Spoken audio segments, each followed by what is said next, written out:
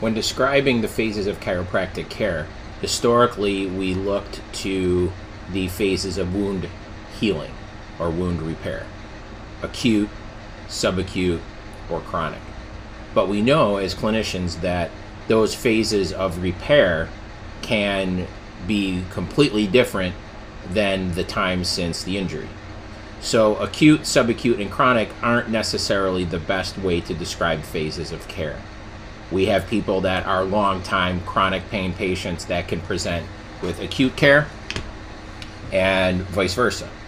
So, what we want to start doing is describing the type of chiropractic care that we're providing in terms of the published research. And the three phases of chiropractic care in that regard are phase one, which is the pain management phase. That's when the patient's coming in for relief. Phase two is the corrective care phase. That's when we're making structural changes and working in and around ligaments and disc problems. That's where the spinal biomechanical engineering principles come into place.